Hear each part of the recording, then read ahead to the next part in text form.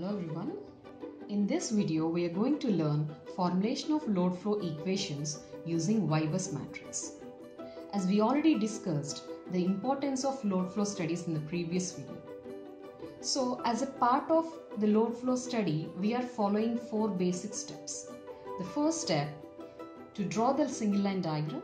Second one, to form the impedance diagram. And third one, formation of load flow equations or network equations. And the fourth step is solution of those equations. Now we are talking about the third step that is the formation of load flow equations. So here in this video we have considered a nodal admittance model of n-bus network. So this is the corresponding equation.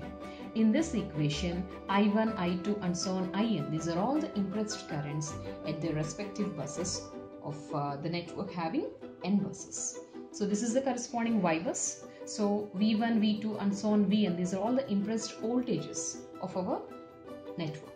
Okay, so now let us consider the kth element. If you want to write the kth element's current equation, then automatically, so this row into this column will give you Ik. So if we write so, then the equation will seems to be somewhat like this. So now what we are doing, we are separating the kth element and rest of the other Okay, so if we do so, the equation will seems to be like this. So we picked out this uh, kth element. So whatever the rest of the portion may be, it can be written like this. So see the pattern yk1, yk2 and so on yk. So can be written as yki. So i can be 1, 2 and so on n but is not equal to k because we already separated this term. Clear? So that's why here we have written i equal to 1 but is not equal to k to n. Okay, so what is the other part here? v1, v2 and so on vn is there no? So we can write vi. So what we can write i now? i can be any number but is not equal to k. But what is k? What is k? k can be 1 to n any number. Okay, so here k is any number 1, 2 and so on n. Okay, so let us write the relation for Vk. Okay, so if we write so, Vk will be, so keep this part and uh, shift this part to the other side and divide that with Ykk. So there you get the relation for Vk. So it will be Ik by Ykk minus 1 by Ykk sigma i is equal to 1 but is not equal to k to n yki vi where i can be 1 to n number but is not equal to k. So call it as equation 1. We know what is the complex power equation. So complex power will be taken as pk minus jqk is equal to Vk conjugate into Ik.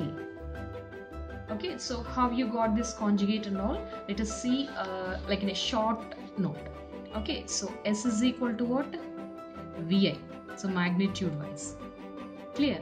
So now if I want to uh, place some vector, then it will be some V at an angle theta 1, magnitude of I at an angle theta 2. So what should be this S? This is a product of V and I and this is the angle between voltage and current, right? Right. So let us have the phasor diagram. So this is our reference. If V is making some theta 1, let us assume, let us assume that I1 current is lagging. Okay. So this is the current I. What is the angle here? Theta 2, right? Now, what is the phase angle phi? This is the angle between V and I, vector V and I.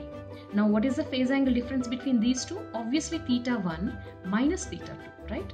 Let us the phase angle difference be phi. This is theta 1 minus theta 2. Right. So, you take this relation. So, S is equal to what?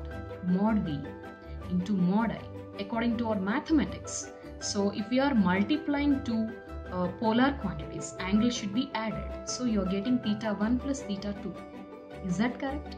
No. So there should be some difference. So we need to take the conjugate. either for I or I, sorry, V. So in that manner, we can find the relation like this.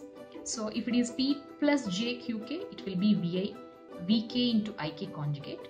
So if we take PK minus JQK, it will be VK conjugate into. So just try this one, you can find the answer. Now from this relation, I would like to uh, relate IK. Okay, so what is IK from this equation? This is PK minus JQK by VK conjugate. Call it as equation 2. So I hope uh, so far you have understood. Now what you do, you substitute this equation 2 in equation 1. Okay, so now what happens with Vk? Vk is equal to, instead of Ik, what we can write? We can write this clear. So if we do so, the final equation for Vk will be 1 by Ykk of Pk minus Jqk by Vk conjugate minus sigma i is equal to 1 but is not equal to k to n yki. Okay, so these are called as load flow equations. So this is how we form the load flow equations. With these equations, we can calculate the voltage, we can calculate the power flows in the system. So based on these equations, we are going to solve um, the power system problem using different methods. The methods can be uh, Gauss-Seidel, Newton-Raphson, fast decoupled, any of the methods. But the equations, that is load flow equations will be the same.